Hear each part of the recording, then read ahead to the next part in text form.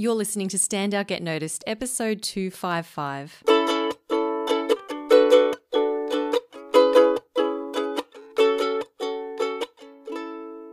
Hi there, Rockstar, and welcome to Stand Out Get Noticed. I'm your host, Christina Canters, speaker, coach, and founder of the C Method, where I help high performing professionals and business leaders to build powerful communication skills. You can learn more at thecmethod.com. Now, a few weeks ago, I did announce some changes happening to this podcast, which are now complete. Complete, and those changes are that the most recent 20 episodes of this podcast will be available publicly as are a selection of 30 episodes from the back catalogue. So at any given time, there will be 50 podcast episodes available for free for you to listen to. The remaining 200 plus episodes are now premium member content only, and these are available to members of the C Method Academy. So to get access to these episodes, plus online masterclasses, live calls, and our supportive community, visit thecmethod.com slash join. Okay, how are you this week, Rockstar? You're probably, uh, like me, stuck at home. I don't know about you, but I've stopped exercising. I've stopped um, eating well, although it doesn't help that I'm pregnant and uh, wanting to eat nothing but potato chips and toast all the time. Um, so, just want to let you know that my thoughts are with you. You know, I know that there's, a, there's so much happening at the moment, a lot of chaos, a lot of uncertainty, and I do hope that you're managing to find some calm within that. And if not, you know, that's also okay, right? We all go through difficult times and it, it's not going to last forever, okay? So, the current situation has got me thinking a lot about our health, you know, and this can be physical health, mental health. And there's been a lot of talk as well um, in the media about how important it is for us to stay physically and emotionally well. Um, in this environment, you know, because there's a lot of change and it's very difficult for everyone. Um, so that's why I'm particularly excited for my guests this week because we are taking more of a, a health focus, which is something we don't normally do on this podcast. But I I genuinely think that it is really important to address right now. So I'm really excited for you to meet Bree Pagonis and Alicia Holmquest. They are the founders of social enterprise Wellness in Real Life. So they are both nutritionists and and um, dietitians, and they've worked in nutrition, health, and marketing for a number of years. And they are super passionate about helping people to feel good and to bring out the best in people and to help them become healthier, happier humans. And as you'll hear in this conversation, they they don't believe in diets. They don't believe in one size fits all. Um, and they are really on a mission to help people build their self esteem and have a positive relationship with food and their bodies. Um, I met Bree and Alicia at the Pause Fest conference in Melbourne earlier this year, and I just loved their approach to health and wellness. Now, I don't know about you, but I get really confused with the conflicting messages about what healthy is, um, you know, what foods to eat, what diets are best, and so on. So I really loved their holistic, compassionate approach. So, in this conversation, Bree and Alicia share with us what it means to be healthy. You know, what's the definition of health? Why it's so important to be compassionate with ourselves, even when we eat a whole packet of Tim Tams. I know, never done that before. Not. and we also talk about how we can manage our health and well being when we're socially isolated and stuck at home, as most of us are. So, if you're feeling like maybe your health is on a bit of a decline at the moment, whether that's emotionally, physically, mentally, socially, um, this will be a great episode for you to listen to as well. And if you do get value from this episode, please do share it with a friend or a colleague because the more that we can get this message out there, uh, the better. So, my first question to Bree and Alicia was What is the definition of health? What is it really? Here's Bree and Alicia. The World Health Organization definition of health involves, you know, multiple um, types of health, not only our physical health, but mental, social, environmental, um, you know, how we connect with others in the world around us. It's it's really dynamic, and I, I guess we have a really strong sense of what physical health and well-being looks like. And a lot of people think that they can look at someone and, and assume that they are healthy, but health is so much more than the way we look, and that's a massive, massive part of why we started our business and and and what we teach um, and share in our in our business as well. Mm. So outside that physical part of health, what else, what are the other elements of health? I guess mental health is probably the, the, the I don't want to say the next in line, but it's definitely the one people probably turn to more so, and especially these days, which is excellent because I think it was a, a part of health that was really undervalued um, until until today, and, and, still sort of is. I guess there's a lot of stigma around mental health and and um, you know how, how to acknowledge what is mental health and what what good mental health looks like. Um, and we talk we talk about a lot about that um, with people and and how how it is other assets of health are equally as important as our physical health. Um, and you know let's not just focus on one facet of health but on many. Social health I, I guess that's super topical right now. Um, I, I, saw an amazing um, I don't know if it was a meme, but just sort of more of a quote um, from another health professional the other day online that said, "Do we have to call it social distancing? Can we just call it physical distancing um, in this, you know, very strange and trying time?" But I think that's really good because to think about it like that, that it is just physical distance. It doesn't have to be social distance because social health is so important. I know if I don't see my friends and family how sad that makes me feel. Um, and I'm sure a lot of us feel that. You know, and I, I guess another super topical piece of health um, or, or, area of health is our environmental health. And, you know, Australia's been through some seriously sad times in the last mm. few months and the environment's been really top of mind and you know the environment in which we live work and play is, is equally as important as our physical mental and social health as well wow so it's a very very holistic approach that you both have very much. Why are you why are you so passionate about this?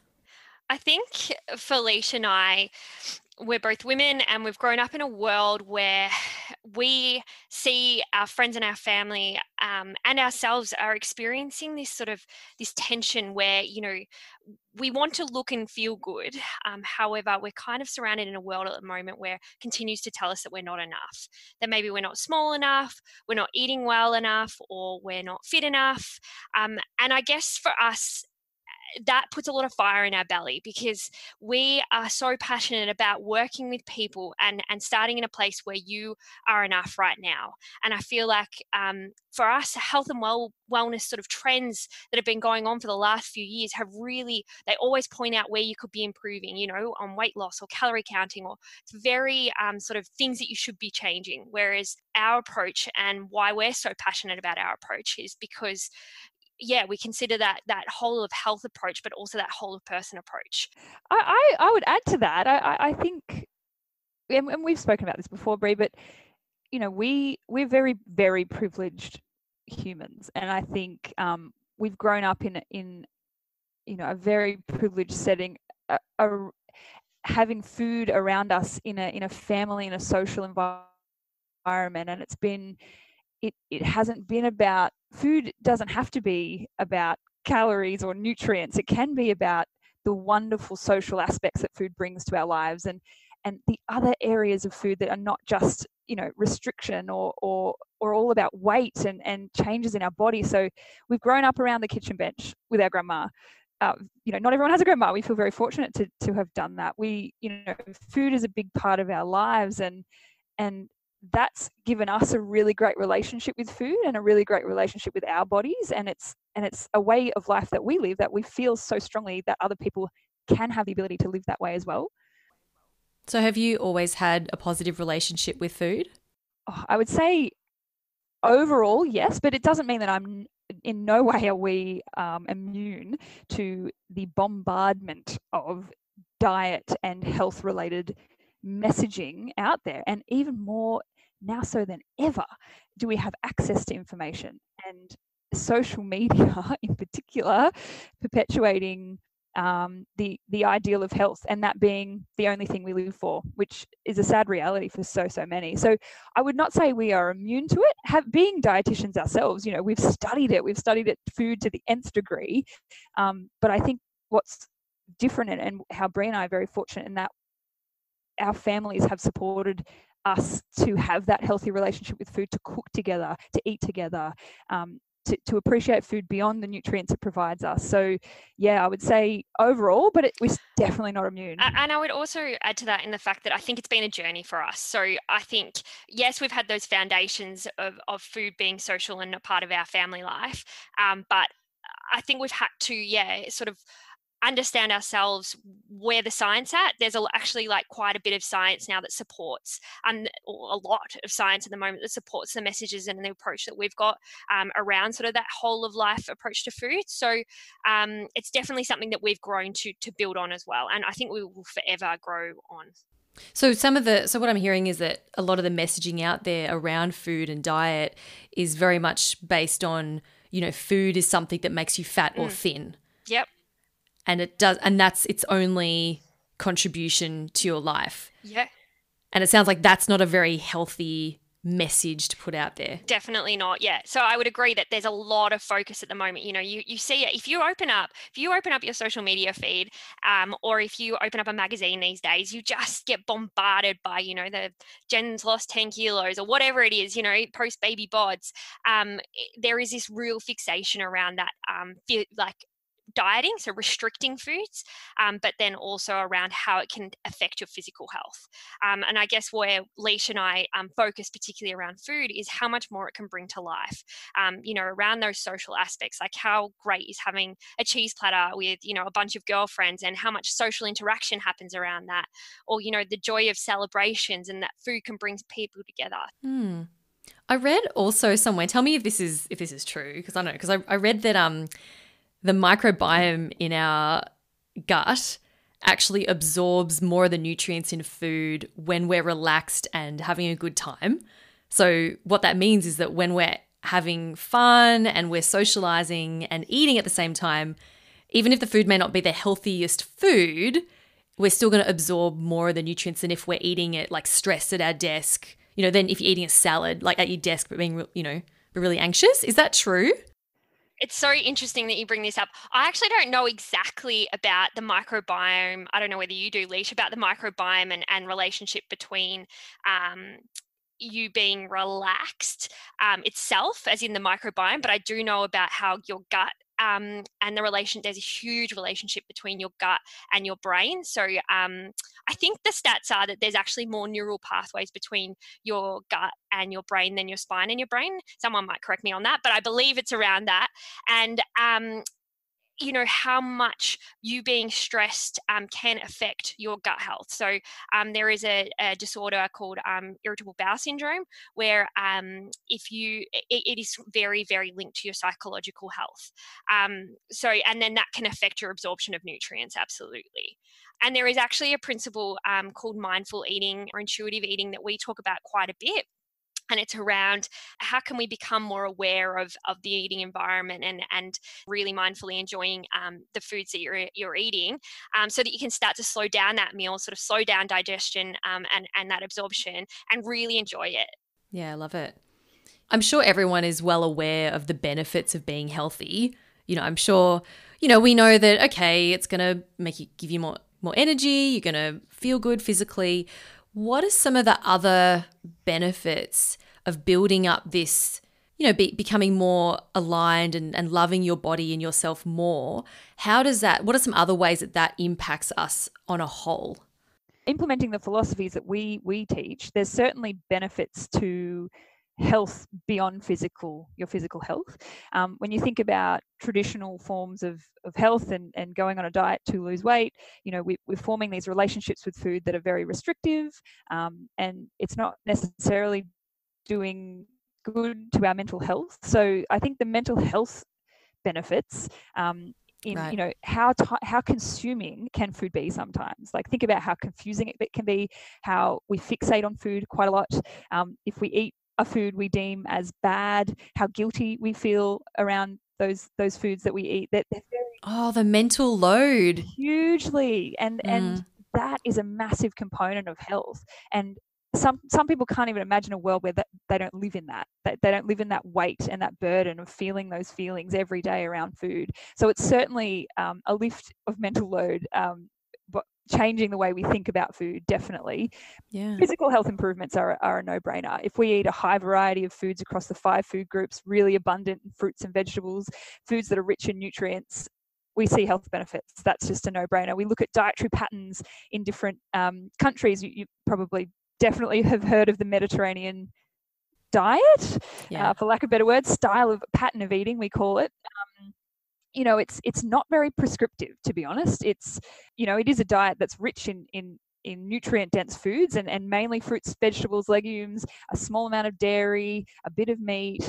Red wine's actually a part of their, their dietary pattern, eating food with friends and moving their bodies in ways they enjoy. And they actually experience a way lower risk of, of, of lifestyle diseases. That, and that includes heart disease, diabetes, um, a- and, and uh, you know, lower risk of overall mortality as well. So massive benefits in, in removing the focus uh, on on you know calorie counting weight Mm. loss and and moving over into the space of of dietary patterns and variety rather than the opposite I know something you're particularly passionate about is this message of how you're enough as you are.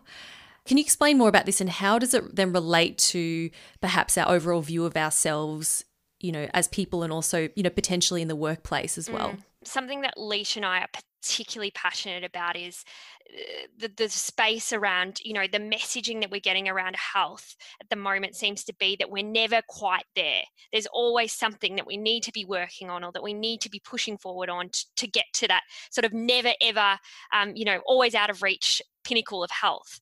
Um, and, and for us that sort of doesn't doesn't fit with what we talked about before around all those different aspects of health and that particularly around your mental health and how you know it forever being out of reach and you forever never get quite getting there sort of starts that cycle of guilt or frustration or that cycle of self-deprivation as well. So our principles is is around you know working with someone as an individual identifying you know where they're at and what they're trying to achieve in their life um, and how perhaps you know we can work with them on their health journey to achieve that but not focusing on things like weight loss. We would never set a goal around that. We would never set a goal around fixing you know restricting foods out of their diet. Um, it will always be around sort of you know where do you want to go? Do you want to run a marathon? Do you want to you know ha- live life to the fullest with your family? And how can we support you in that as women when we're continually you know for our lived experience when we're continually being told that we're not enough from a health perspective how does that start to affect your body image and the way that you feel about your body? And how can we then show up in the world and be confident and and feel so comfortable in our skin when you know we're kind of internally sort of never quite getting to that pinnacle of health? Um, so i guess where what our belief is is that if we can start to sort of shift the goalposts away from weight loss and around to other sort of more achievable and more realistic goals then we can also start to help people sort of become more comfortable in the skin they're in focus on you know body acceptance and then hopefully whatever they're trying to achieve in goal whether it's a workplace related goal you know trying to get that next promotion or even sitting and turning up and sitting in a meeting and feeling confident and comfortable that they can start to try and work towards that as well. Hmm. What I'm hearing is that if we can start to build up more more confidence in the way that we approach food and not be like victim to all these different messages and then feeling like we're never good enough or we'd never reach that that that level that we're supposedly expected to reach if we can become okay with where we're at and set realistic goals that then will then bleed over into other areas of our life is that what you're saying Yeah, and, and also that food and, and body are so Mm. interrelated as well.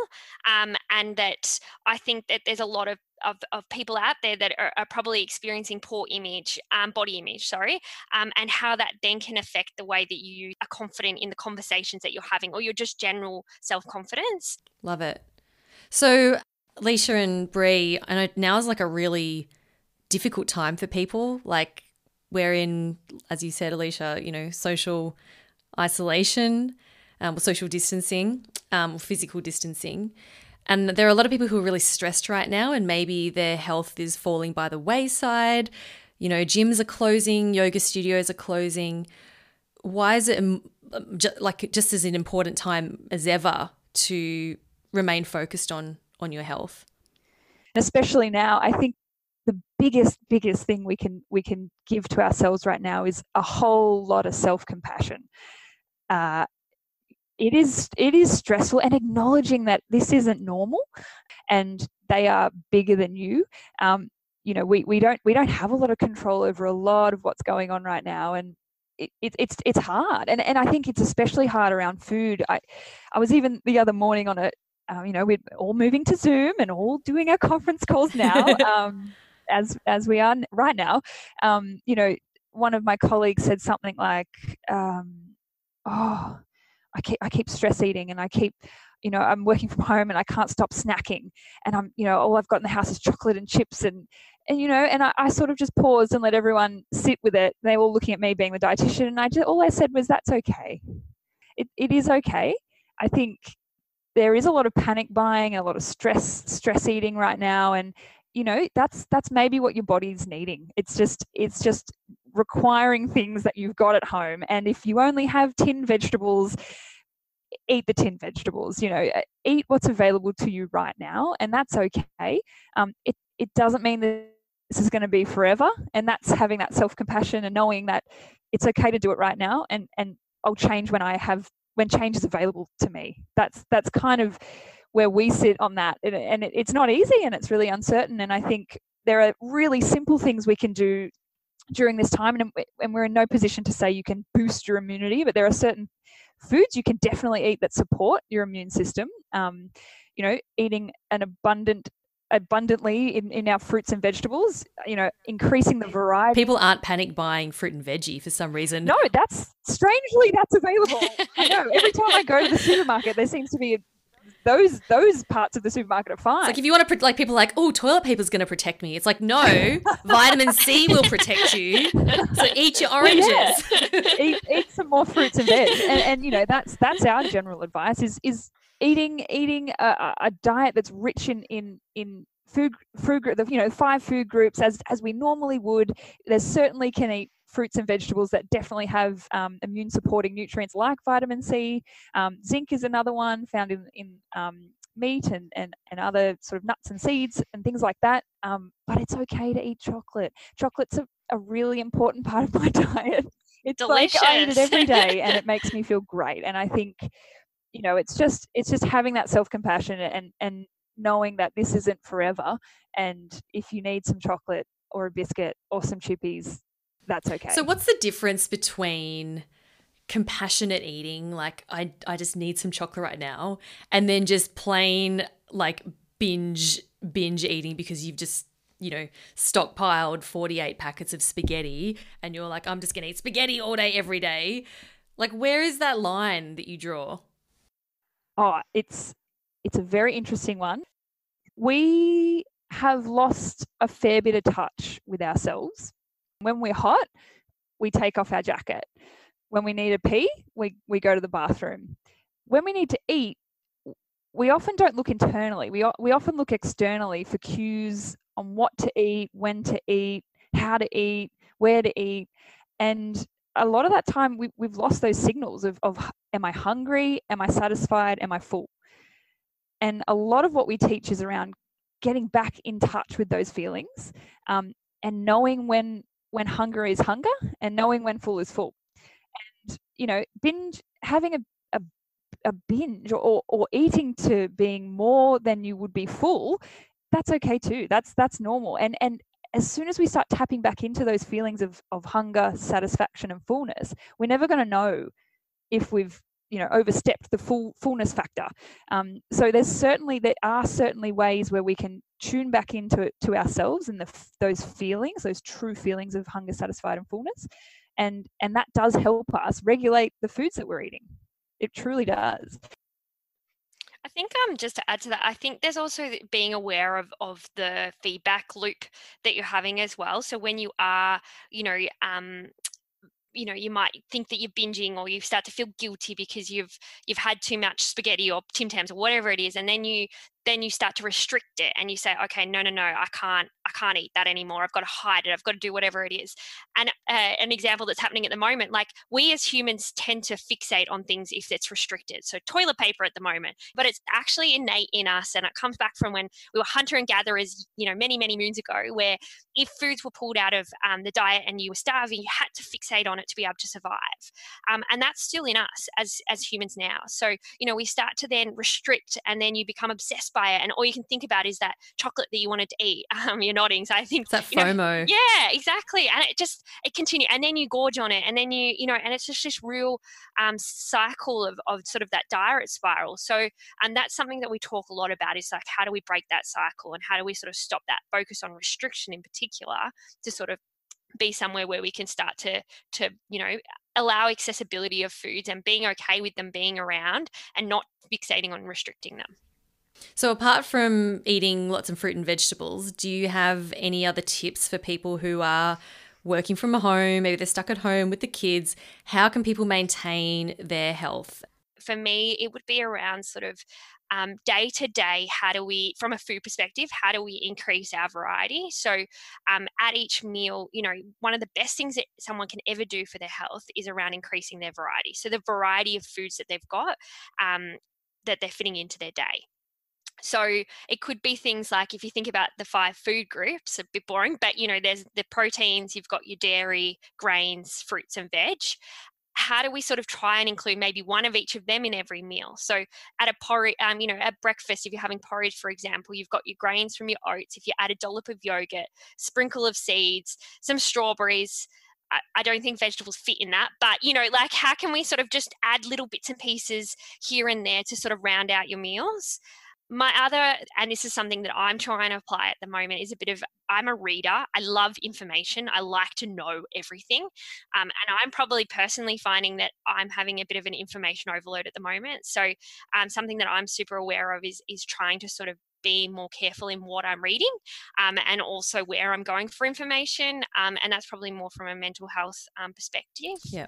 Stay away from Facebook it's yeah it's and also just place. like no and some of the memes that we're seeing i guess we were talking about it before you know there are some pretty um being aware even from a health perspective of some of the memes that are going around about like people talking about how they're going to gain weight and and all these things while they're in isolation and and perhaps maybe actually choosing to actively unfollow some of those feeds or some of those people that are encouraging that negative um, self-confidence or body image mm and then I think the the other one is as much as we possibly can, like trying to get outside and move our bodies. But again, applying those principles of self compassion. So how do we not have to go out there and and and run a marathon at the moment? You know, how do we just go out and do something that we enjoy each day, whether that's a walk uh, if we're allowed a walk around the block or you know a walk around your backyard or whatever it is um, to sort of get some fresh air and, and and move our bodies I know so many people who are running amazing classes online that, that encourage us yeah. to move our bodies at home. I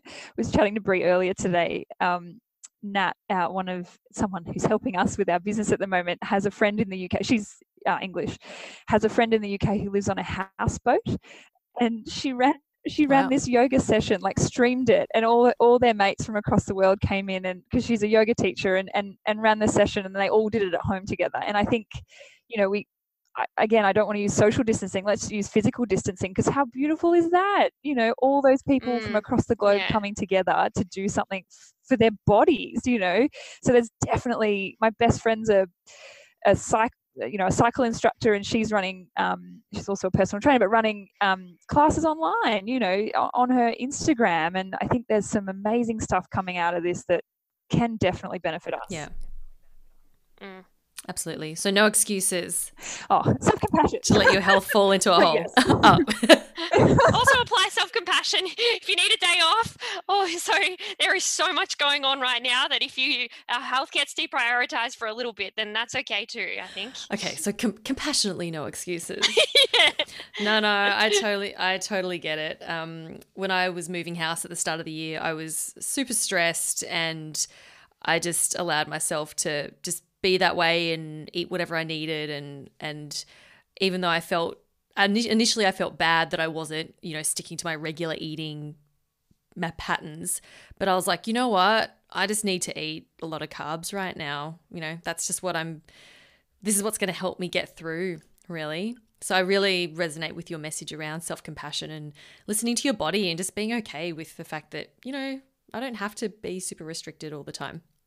Mm, yeah. Um, so tell me more about Whirl. What does it stand for? And what's your mission? Uh, so Whirl stands for Wellness in Real Life. We are a social enterprise, and it was co-founded by myself, Bree, and Alicia. Um, actually, a good few years ago now, and the the main aim of what we do is around trying to empower people to improve their relationship with food and their bodies. What that actually means is that we and we've talked about it a lot today around taking that focus away from um, weight loss or, or dietary restriction and instead applying principles of you know intuitive eating for joyful movement um, increasing your variety and and really understanding appreciating how much more food can give to us than just you know mm. nutrients mm. Um, so how we're doing well at the moment is we um, run workshops. Well, we were running lots of workshops. Um, we're sort to be online, on online workshops, yeah. streaming. well, yes, we will look at that. Um, but we were also doing a heat within schools, um, which is is something that we're particularly passionate about as well. And then we're also launching into an online space, which I'll let Leash can tell you all about that in a moment. But the other thing I think it's important to sort of shout out to is that um, I said before, we are a social enterprise. So we donate a, a portion of our profits or our takings um, to an organization called the Hunger Project, um, which is a charity that aims to end world hunger by 2030. Amazing. Yeah, it is. It's an incredible organization and something that, yeah, we're very, very privileged and honored to be part of the online tool this is totally new to us. We we feel like we've become um, coders or something in the last month. Bree, Bree, it's a whole different no, world isn't Bree it? more so than me. Yeah. uh, she's the code queen. Um, but we've certainly yeah we've created an online tool and it's a 30 day online tracker that tracks the awareness of the way we eat, move, and think. Um, and essentially, you you you log in every day, and it asks you a, a series of reflections um, or questions on reflecting on your day um, around those principles of gratitude, variety, self compassion, um, eating awareness, and, and enjoy, joyful movement. And it's really simple, really easy to use. We we also offer um, lots of recipes on there to give you ideas and inspiration rather than sort of a plan. Um, and, and we're adding at the moment some, some forms of movement and meditation with some of our um, amazing partners of Whirl. I just can't wait until it's final, final, and then we can share it with the world. And by the yeah, by the time this podcast airs, it will be live, which is super exciting. Yay! Amazing. so how can people find it? Where they where do they sign up? Head on over to our website, um, wellnessirl.com.au and there's a link uh, page link through there and you can sign up. It'll take you directly to the tracker and you can sign up through there. It's we're, we're working on a seven day free trial um, so you can actually give it a go and, and and feel your way through the tracker. It's really fun but it's fairly intuitive. Great. I can't think of anything better to do when you're like stuck at home.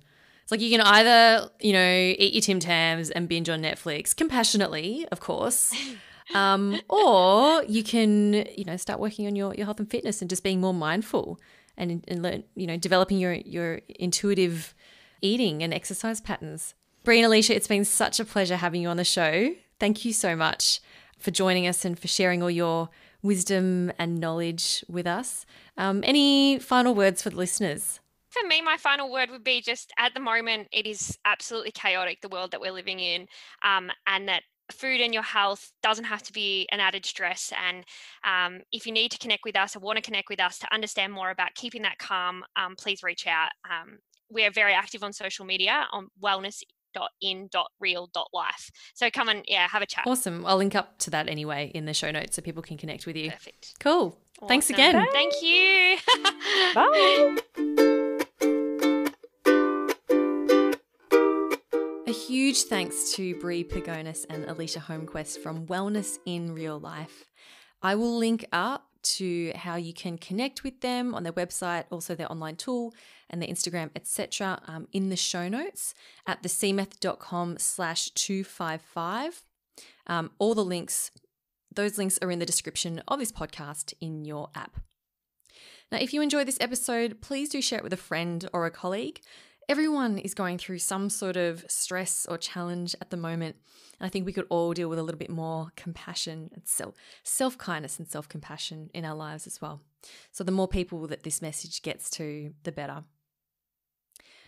I also want to acknowledge you, Rockstar, for taking the time to listen and hang out with me this week. I know you've got a lot going on. You might have kids screaming at you, wanting your attention. So the fact that you've taken, you know, 30 minutes out of your day to have a listen, I, I want to acknowledge and appreciate you for that. Take care of yourself, and as always, keep on being awesome. And I'll talk to you next week.